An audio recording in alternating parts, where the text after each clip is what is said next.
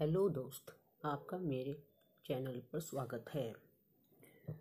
आज मैं स्वामी विवेकानंद की माँ की महिमा की कहानी लेकर आई हूँ कि स्वामी विवेकानंद ने कैसे माँ की महिमा को समझाया था। स्वामी विवेकानंद का जन्म कलकत्ता में हुआ था। स्वामी विवेकानंद के गुरु रामकृष्ण परमहंस थे। स्वामी विवेकानंद कहते थे, उठो और जागो और तब तक मत रुको जब तक तुम अपना लक्ष्य प्राप्त नहीं कर लेते। सीखना जीवन पर्यंत चलने वाली प्रक्रिया है। जब तक जीना है, तब तक सीखना है। अनुभव ही जगत में सर्वश्रेष्ठ शिक्षक है। स्वामी जी कहते थे, माँ से बड़ा धैर्यवान इस संसार में कोई नहीं है। एक बार स्वामी विवेकानंद जी से एक जिज्ञासु ने प्रश्न किया, मैंने आपकी बहुत ख्याति सुनी है। मैं अपना एक प्रश्न लेकर कई विद्वानों के पास गया। लेकिन कोई भी उसका उचित उत्तर नहीं दे पाया। असल में मैं यह जानना चाहता हूँ कि इस दुनिया में माँ की महिमा किस कारण से गाई जाती है। जब बच्चे का जन्म होता है तो उसका जिम्मेदार तो उसका पिता भी होता है। वह भी बच्चे के लालन पालन में उसकी माँ की तरह योगदान देता है। वह भी बच्चे के लिए सब कुछ करना चाहता है और करता भी है।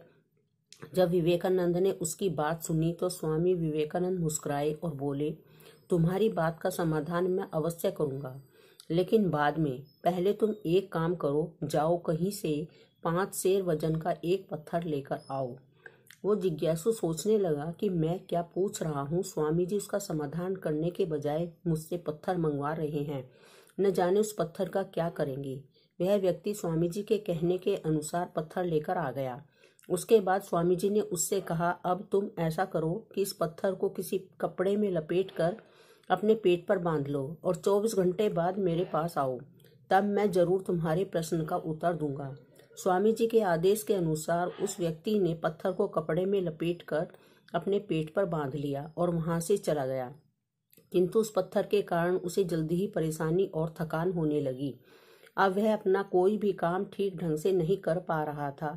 शाम होते होते तो उसके लिए उस पत्थर का बोझ संभाले वे चलना फिरना भी भारी हो गया आखिरकार वह थका हारा स्वामी विवेकानंद के पास पहुँचा और थोड़ा सा झिझकते हुए बोला, मैं इस पत्थर को अब और अधिक देर तक अपने पेट पर नहीं बाँध सकता हूँ एक प्रश्न का उत्तर पाने के लिए मैं इतनी बड़ी सजा क्यों भुगतूं? उसकी बात सुनकर विवेकानंद बोले, पेट पर इस पत्थर का बोझ तुमसे कुछ घंटे भी नहीं उठाया गया, लेकिन माँ तो अपने गर्भ में शिशु को पूरे नौ महीने तक ढोती है और अपनी पूरी घर गृहस्थी संभालती है, घर का सारा काम करती है। संसार में माँ के सिवाय कोई इतना धैर्यवान और सहनशील नहीं है, इसलिए माँ की महिमा हर जगह गाई जाती है। उस व्यक्ति को अपने प्रश्न का उत्तर अब तक मिल चुका था। उसने स्वामी विवेकानंद को प्रणाम किया और वहाँ से चला गया। यही है माँ की महिमा।